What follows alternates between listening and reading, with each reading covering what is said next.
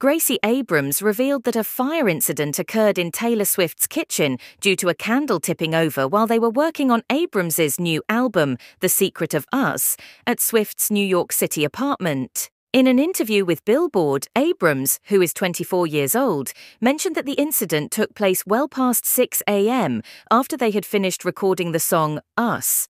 Despite the chaos, Abrams praised Swift for her quick thinking and handling of the situation, especially considering the late hour and their exhausted state.